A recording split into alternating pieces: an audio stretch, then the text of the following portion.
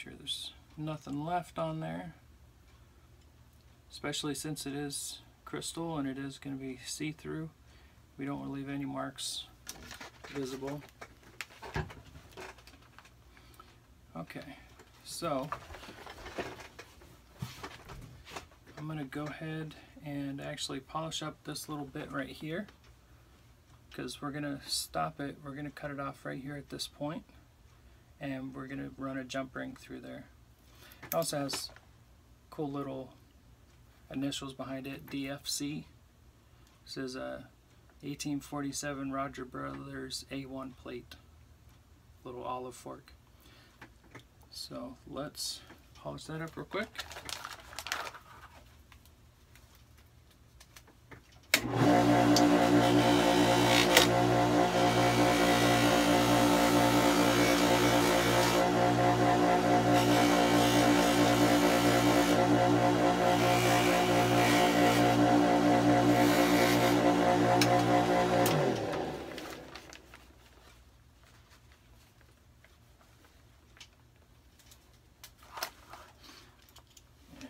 Switching over to my little buffing pad here.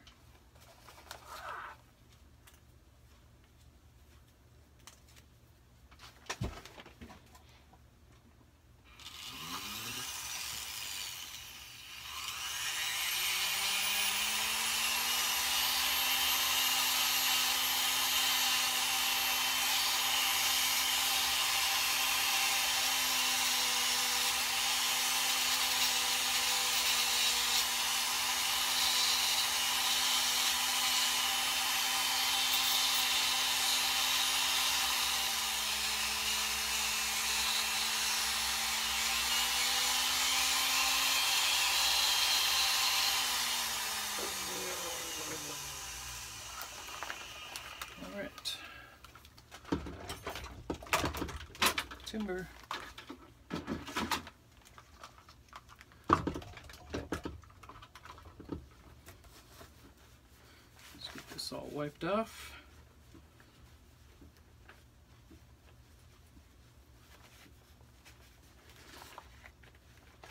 So this is most of the way done. I take some old t-shirts, cut them up, use them to wipe off all my pieces whenever they get too dirty and damaged. I recycle them into grease rags. Okay, so we got our piece pretty shiny and finished. Test fit the stone again. Just make sure everything's in place.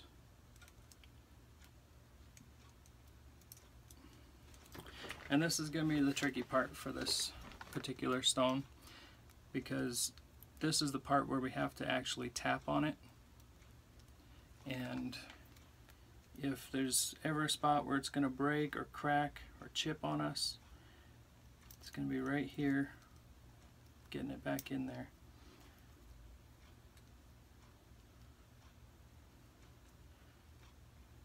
So this side is where I want it.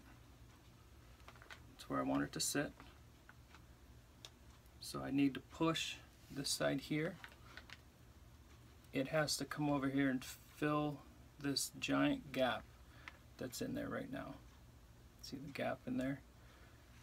I need to get this pressed all the way over. You know what I might try? I might try in my vise instead of hammering. See if I can get it to bend in place like that as opposed to hammering.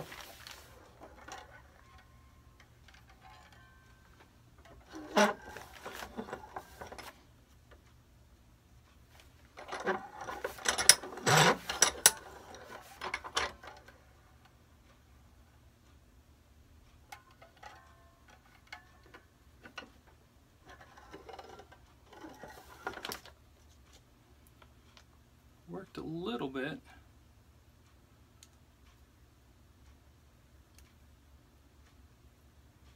So this part here, I need to just flip this over. And this has to come this way. So see if I can get it over there.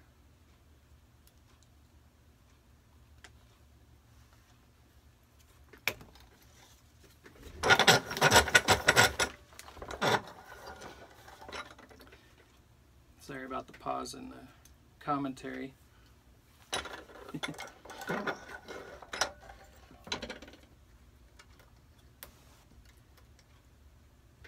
that's my spot. This to come over.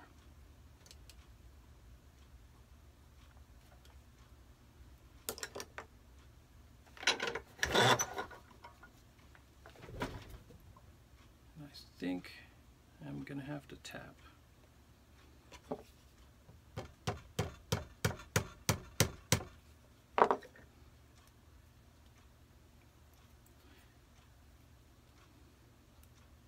So I got everything where I want it. Remember, whenever you're tapping on your silverware, you want it to go, imagine a line going straight down all the way to the anvil. That's the direction the metal is going to go. So as you're hammering, this is going to end up pushing it straight in the direction you want it to go.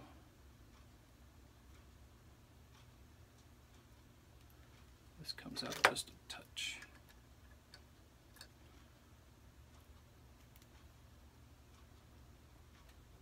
I'm kind of looking at it to see if it's going to clear all the uh, the geometric lines because as I'm pushing it over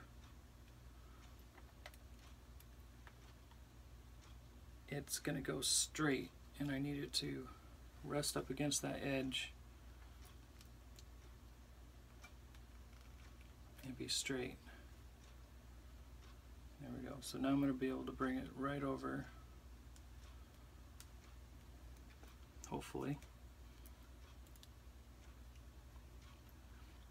The hard part about these stones is that the metal springs backwards. So if you push it this far, it's going to come back this far. So you have to push it this far to get it to come back to where you want it.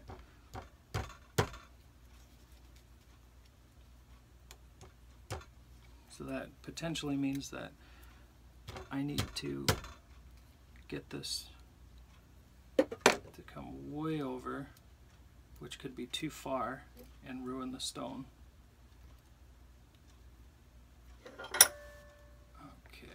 Let's try bumping it this way.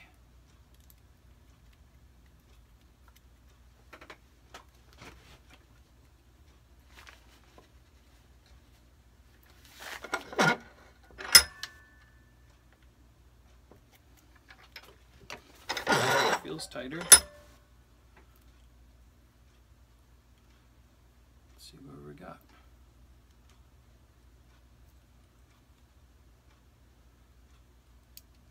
super close. Super, super close. It needs to be right there. That piece is touching.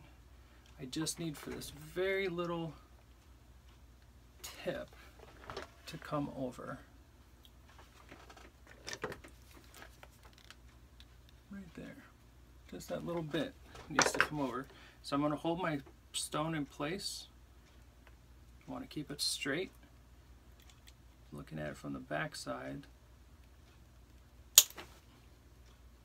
Another broke. and I'm to run that. That's in a good spot right there. All right, last couple of taps. This is always the scary part. I'm going to close this gap right here. So I need to hit down and get this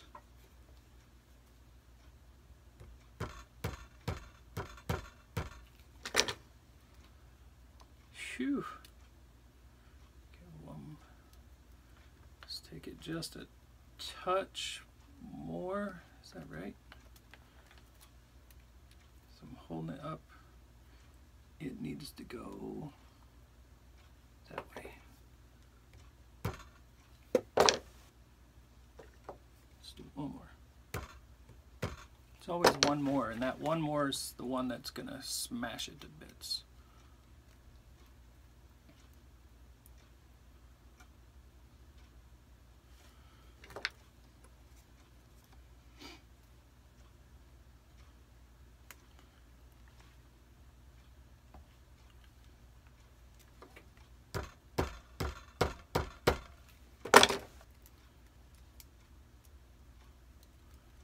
Sure everything is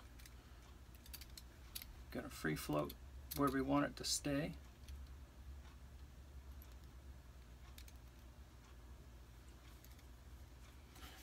Get rid of that.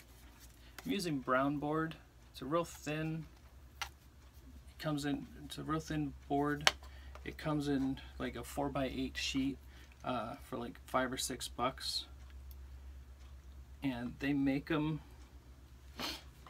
I'm gonna have to do it back in this. Uh, they make them in smaller pieces, but I needed one for, I made some bookshelves and I use this as the backing for it. So I cut it up into a bunch of smaller pieces so that I could use it to protect against creating the pits that are in my anvil, putting those into the silverware. So, looks like we are about there. I'd really like it to go just another little tiny bit. Tiny, tiny bit.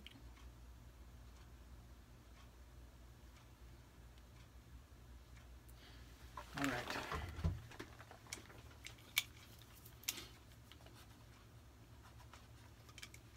Let's see. I need to pull this this direction.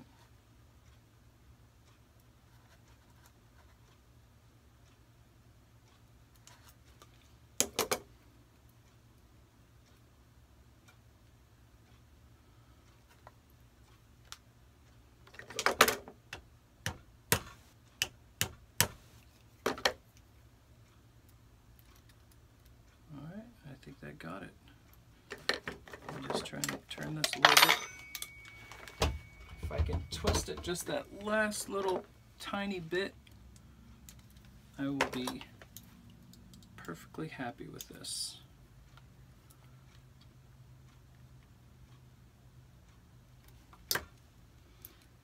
I'd like it to be touching or really close to touching so that it keeps it in its place where I want it to stay.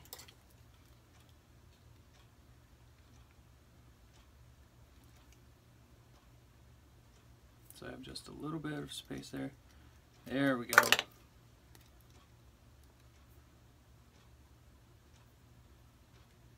Free floating. And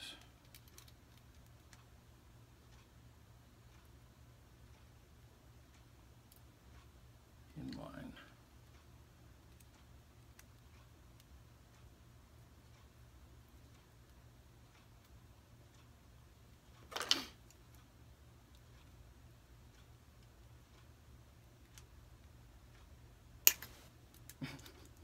Always scares me. Anytime something doesn't want to do what I want and then the tool slips off, always scares me. okay.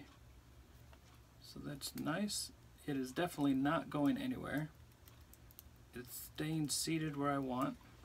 The next step is just to make sure that your points are dull so they're not going to catch on anything. So I'm just going to take, because I did touch touch the metal with those tools, I need to take those out. I need to be really careful though to make sure that I don't um, jeweler saw. I need to make sure that I don't touch the crystal because those blades will cut, um, will put little etchings into the crystal.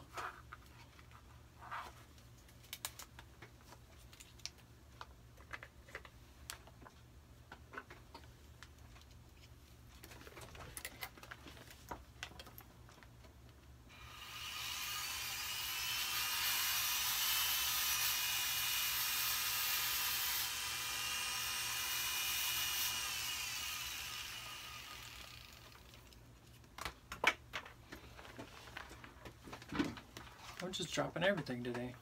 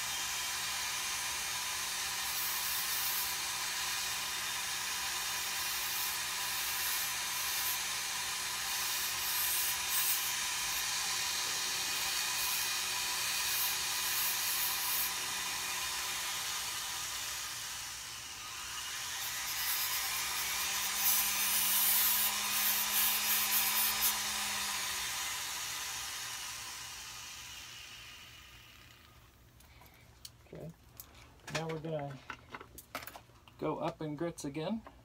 So the higher the grit number, the uh, the finer the marks it's gonna make. So we're bumping up to 400 right now.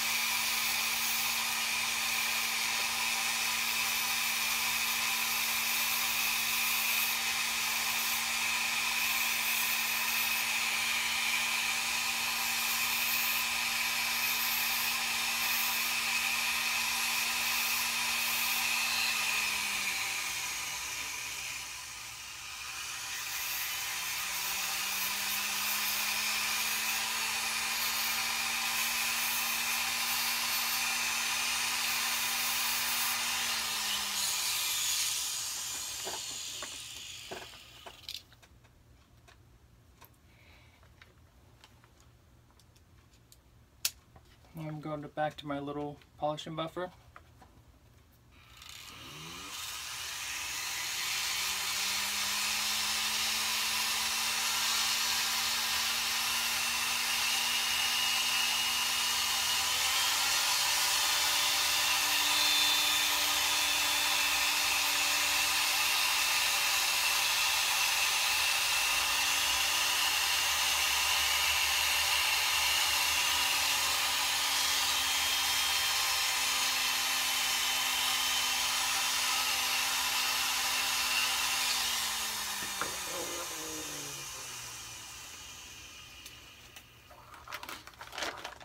And we'll see where this is at. As far as polished and clean, the marks off of there.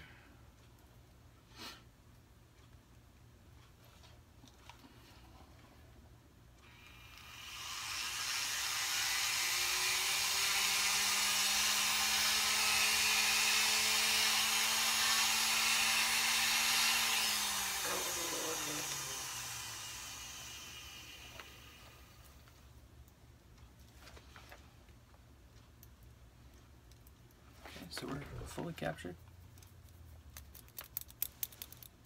It's still free floating, but it has a little bit of wiggle room. It's staying where I want it to stay. Our points are nice and straight.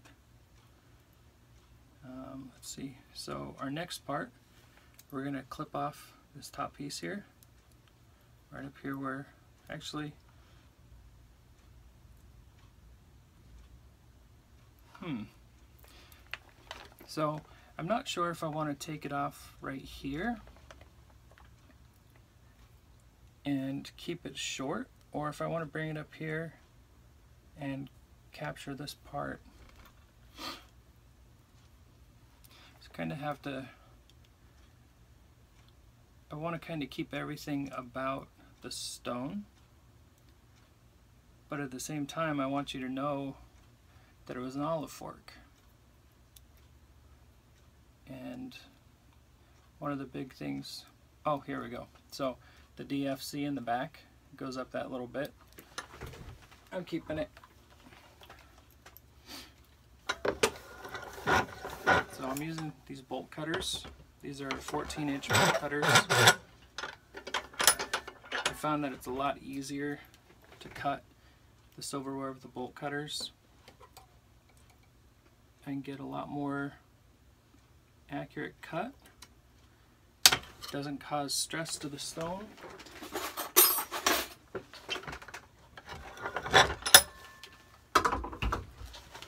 And I can keep everything right where I want it. So for this, I'm going to take my file and I'm holding on to the stone and the silverware. I'm just going to round off part that I just clipped off because there's a little burr on the top where it's squished together and then cut. Taking off that that burr and just rough shaping it.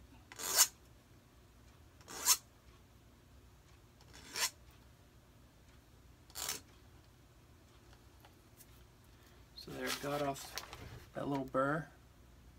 So it's rough rounded. Go back to our Dremel. Going back to the sanding drum.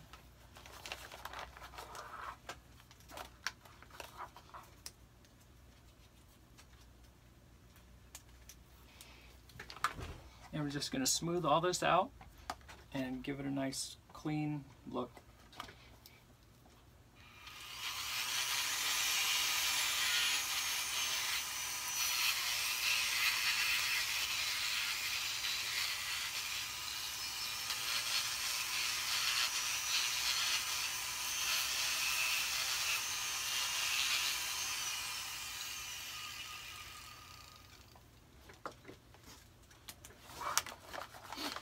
Okay, so that piece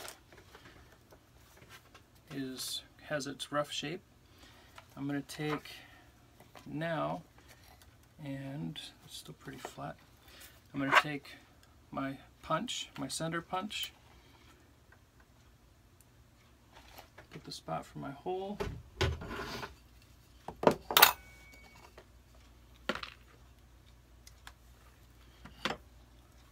I'm making sure that my crystal or stone, because it's poking out the back, is off of the anvil.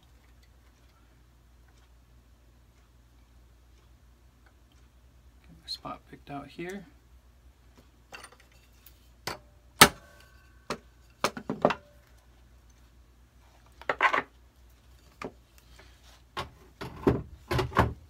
Okay, and I'm using a a 1 16th inch cobalt bit in my drill press here.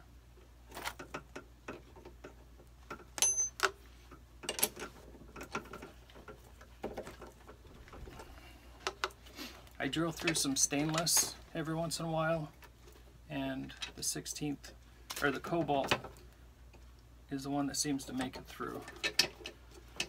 Go.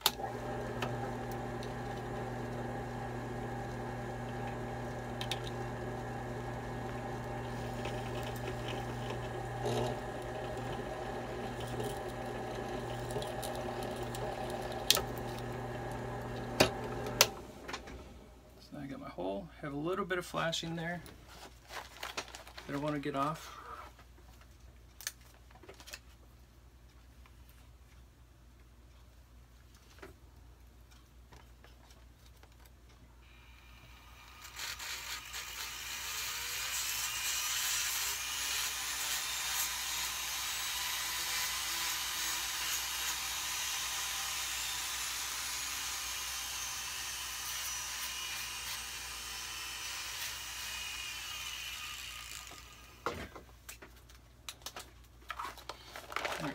So I've got my flashing off of there. There's nothing sharp on the front or back side now.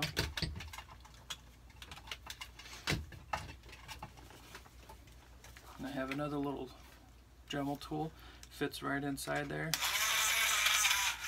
And I use this to make sure my, my hole is lined up so that whenever the jump ring comes through, it's nice and straight and it's centered. Back to the buffing wheel, finish this piece up.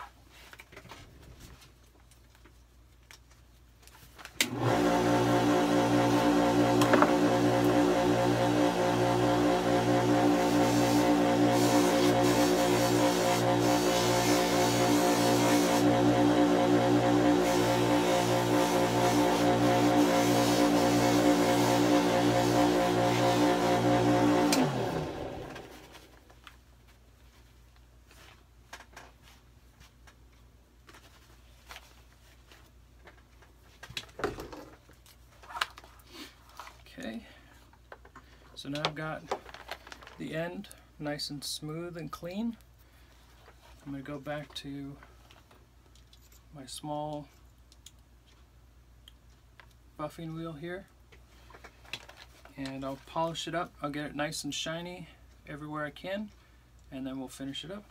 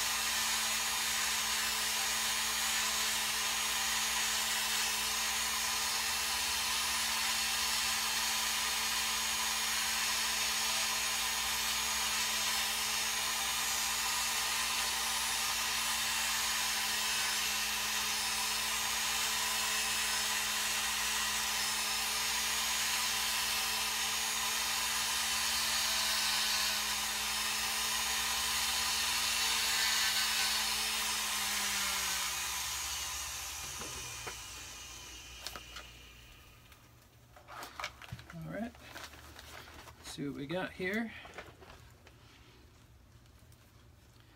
So anytime you're wrapping stones, you have places that you can't get to with your small polishers. And something like this you can't put in your tumbler because it will crack and chip and really dull the stone. Some stones you can, but stuff like this in the crystals, I don't recommend it. Um, so what I do is I look for everything and what I'll do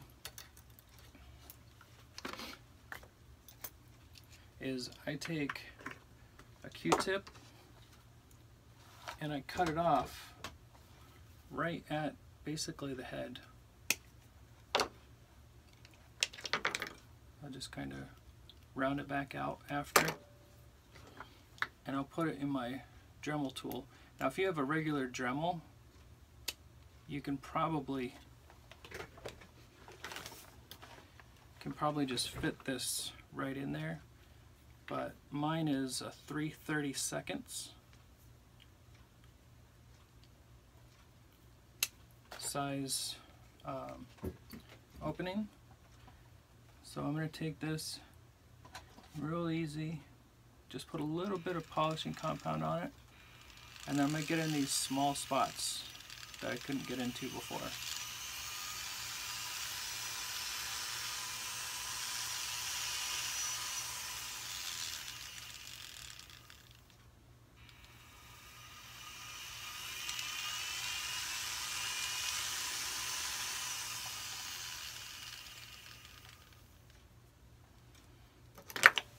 Sometimes you get a little clump on there.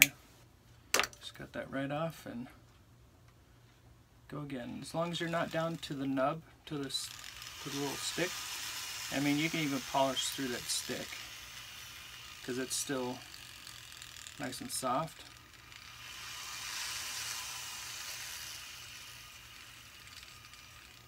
There we go. I think that's about it.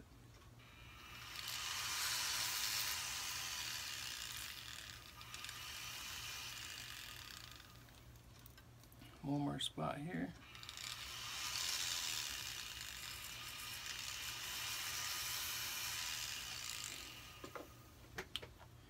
All right. Let's put a jump ring on this guy. And I always finish them off in the ultrasonic. I don't have a tumbler. I got an ultrasonic first. So my tumbler's on the list. Let's grab a couple these guys. Find my seam.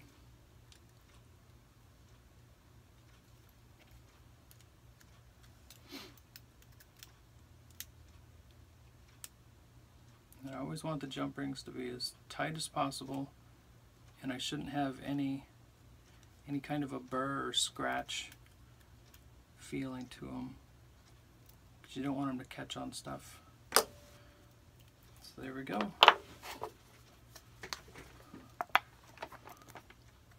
We got our little Herkimer diamond. Put it on the test necklace. This one always stays in the shop. It gets used for the pictures and and things because it's more about the stones than anything else.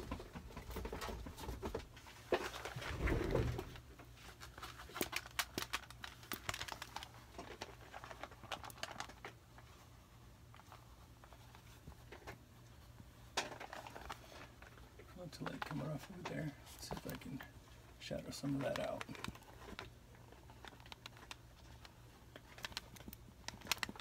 And there we go. Herkimer diamond wrapped in an olive fork. Have fun.